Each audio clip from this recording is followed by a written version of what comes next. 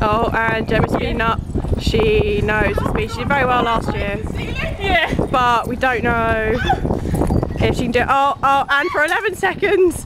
She's lost a shoe. No, she has not lost a shoe. Yay! She's rad. Woohoo!